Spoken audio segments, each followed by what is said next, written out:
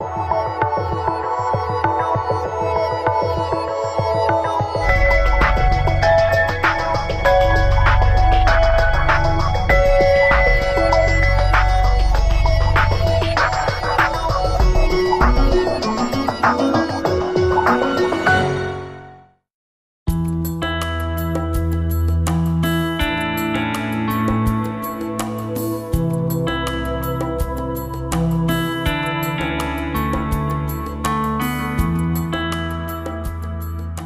Na zdrowie wpływa wiele czynników. Wśród nich jest środowisko, w którym człowiek żyje.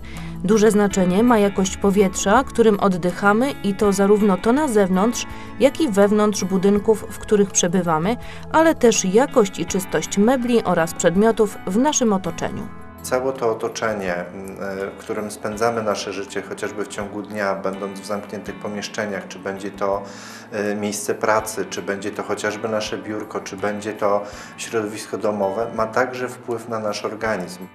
Jakość powietrza w domach oraz pomieszczeniach, w których pracujemy, zmienia się szczególnie zimą w sezonie grzewczym. Niewłaściwe dbanie o jego stan może doprowadzić do rozwoju czynników chorobotwórczych, w tym grzybów pleśniowych. Szczególnie kiedy wymienimy okna i nie ma w tych oknach nawiewników. I wtedy występuje grzyb, który jest charakterystyczny w ościeżnicy całego okna.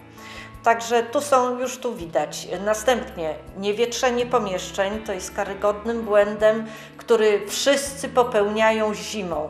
E, Nie wietrzą pomieszczeń. Wietrzenie zimą powinno być krótsze, ale, ale kilkukrotne. Więc po 5-10 minut otwarcie okna, zakręcenie grzejnika, żeby nie było w tym momencie nawiewu e, ciepłego powietrza, uderzenia i zamykanie tego okna. Pod żadnym pozorem nie powinno się zasłaniać kratek wentylacyjnych.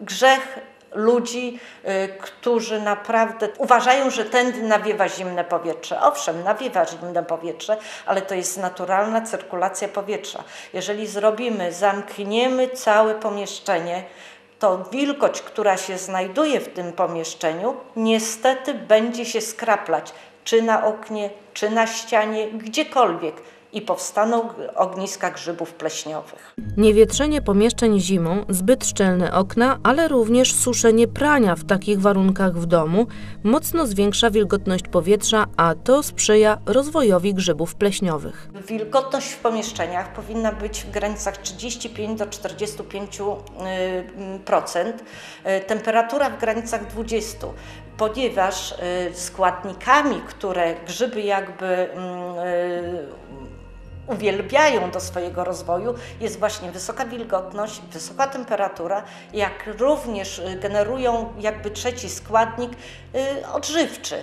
A niestety wszystkie materiały budowlane, które znajdują się na przygrodach budowlanych, tapety, farby y, czy płyta karton gips, jest dla nich dobrą pożywką do tego, żeby rosły. Niektóre wręcz mają powinowactwo do papieru i wtedy jest problem Grzyby pleśniowe mogą powstać w pomieszczeniach również z powodu błędów w projektowaniu i wykonaniu budynków.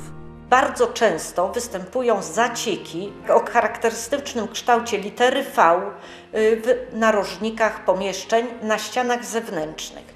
I mogą to być przyczyny źle wykonanych dachów, spadów, woda się gdzieśkolwiek dostanie i zaczyna drążyć do pomieszczeń y, i też występują różnego koloru naloty w pomieszczeniach, szczególnie w narożnikach, przy oknach czy balkonach. Tam jest to bardzo widoczne. Tak samo tarasy, jak są budowane, czy balkony, źle wykonane, jak również teraz, szczególnie po dociepleniach budynków, źle wbudowane i wmontowane parapety zewnętrzne pomieszczeń. Też może być taka sytuacja, że woda dostaje się do pomieszczenia i wtedy występuje w nadprożach czy w, nad y, oknami występują grzyby. Jednym z powodów zagrzybienia mieszkań mogą być też zbyt cienkie ścianki, przy których użytkownicy postawią lodówki. Jedną z y, takich y, przyczyn jest na przykład dostawiona lodówka do ściany. Ściana budynku jest zaprojektowana bardzo cienka i występują grzyby, nie ma do, dobrego obiegu powietrza. Za lodówką nastąpiło wystąpienie y, grzybów y, w postaci czarnego nalotu na ścianice zewnętrznej budynku. Budynek był jeszcze przed dociepleniem. Grzyby pleśniowe pojawiają się też czasami na plecówkach mebli, które są zbyt mocno dosunięte do ścian. Następnym błędem, którym bardzo często popełniają ludzie, którzy kupią nowe mieszkanie, nie dają jakby tej wilgoci y, technologicznej, która znajduje się w pomieszczeniu, odparować. Zakładają od razu nowe kafelki, nowe płyty na y, podłogę, czy parkiety wręcz i wtedy następuje rozwój grzybów, bo wilgoć, która znajduje się w pomieszczeniu nie ma jakby możliwości odparowania. Rozwijające się w pomieszczeniach grzyby pleśniowe nie są jedynie problemem estetycznym.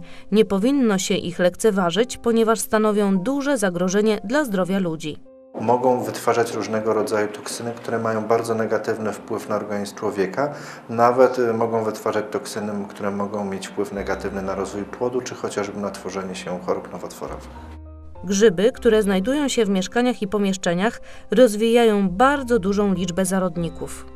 Te zarodniki są to takie elementy, które służą do ich rozmnażania, do przenoszenia. Niestety mają one taki kształt i wymiary, które pozwalają im dostawać się e, do naszego układu oddechowego, nawet do oskrzelików płucnych, ponieważ no, mają wymiar od 3 do 10 mikrometrów. Duży problem polega na tym, że zbudowane są w taki sposób, że mają bardzo dużo substancji, które oddziaływują drażniąco na nasz organizm. Generalnie grzyby pleśniowe są uznawane za właściwie drugą przyczyną powstawania alergii. E, co więcej, problem jest też tego typu, że wytwarzają bardzo dużo wtórnych metabolitów, takich jak mikotoksyny chociażby, e, które mają bardzo silne działanie toksyczne. Objawy wpływu grzybów pleśniowych na funkcjonowanie naszego organizmu mogą zostać zbagatelizowane, bo z pozoru nie wydają się groźne. Bardzo dobrze został opisany na przykład syndrom chorego budynku, polegający na tym, że na przykład jeżeli e, pracujemy w budynku, gdzie rzeczywiście te grzyby występują, możemy odczuwać takie objawy jak chociażby bóle głowy, nudności, dekoncentracja, rozdrażnienie, e, bardzo często e, chociażby zaczerwienienie skóry, podrażnienie błon śluzowych, czy to oczu, gardła, czy też nosa. Natomiast kiedy takie pomieszczenie opuszczamy, to bardzo szybko dochodzi dochodzi do ustąpienia tych objawów. Przebywanie w zagrzybionych pomieszczeniach może jednak przynieść skutki dużo bardziej groźne dla zdrowia. Przede wszystkim alergie i generalnie problemy z układem oddechowym.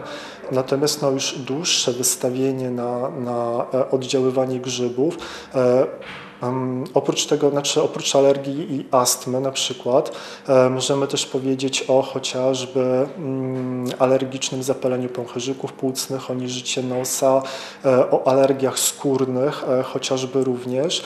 E, natomiast już długotrwała ekspozycja albo występowanie grzybów e, bardziej niebezpiecznych, już niestety chociażby do uszkodzenia różnego rodzaju narządów, e, przede wszystkim chociażby nerek, wątroby, płuc, do powstawania nowotworów, niestety uszkadzania płodów. Grzyby pleśniowe rozwijające się w domach lub mieszkaniach są bardzo niebezpieczne nie tylko dla kobiet ciężarnych, ale też między innymi dla dzieci. Oczywiście zawsze najbardziej narażone są osoby, które albo mają jeszcze niewykształcony układ odpornościowy, no niestety nie są w stanie się bronić, czyli dzieci. E, I tu jeszcze dodatkowo na przykład zostało stwierdzone, że zarodniki właśnie przez tą swoją wielkość unoszą się e, najczęściej, największej e, ilości występują na wysokości około 1,5 metra, czyli no właśnie tam, gdzie małe dzieci mają swój aparat oddechowy, tak, gdzie rzeczywiście pobierają to powietrze, no ale oprócz tego oczywiście osoby starsze, a biorąc również pod uwagę uwagą to, że e, no na szczęście cały czas nasz stan wiedzy, nasze możliwości medyczne się polepszają, to także osoby, które z różnego powodu mają, e, poddawane są na przykład immunosupresji, czyli osoby po przeszczepach, osoby, które walczyły z nowotworami, e, czy też na przykład osoby z chorobami autoimmunologicznymi albo na przykład AIDS. Jeżeli podejrzewamy lub ewidentnie widzimy, że mamy zagrzybione pomieszczenie i chcemy wiedzieć, jaki to rodzaj grzybów i co może powodować, to można można zgłosić się do stacji sanitarno-epidemiologicznej i zlecić badanie w laboratorium, które zidentyfikuje grzyby. Identyfikację grzybów pleśniowych prowadzimy metodami makroskopowymi i mikroskopowymi. I niestety jest to specyficzny sposób badania, y, ze względu na to, że cech różnicujących mikroskopowo jest bardzo dużo. Wszelkie zagrzybienia pomieszczeń należy jak najszybciej usuwać i to najlepiej nie samemu, a wynająć firmę, która się w tym specjalizuje. Jeżeli dojdzie do dość mocnych zagrzybień, to niestety musi to robić firma, y, która się zajmuje tego typu rzeczami, dlatego że sami Państwo sobie nie poradzą, a najpierw trzeba jednak usunąć przyczynę tego, a dopiero skutek. Skutki y, firmy te, które budowlane, które zajmują się tego typu rzeczami, y, odbijają tynki, y, robi się odgrzybianie 3, 4, 5-krotne, w zależności od tego, jak to wygląda. Tynk powinien być odbity na wysokość pół metra ponad to, co występowało zagrzybienie. Także to jest dość długotrwały proces i osoby, które czy w mieszkaniu, czy w firmie, no same tego nie zrobią. Po prostu muszą wynająć firmę, która tego typu rzeczy usunie. Usuwanie zagrożeń pojawiających się w środowisku domowym lub w pracy pomaga dbać o zdrowie, zapobiega także rozprzestrzenianiu czynników chorobotwórczych w innych miejscach lub przenoszeniu ich na innych ludzi.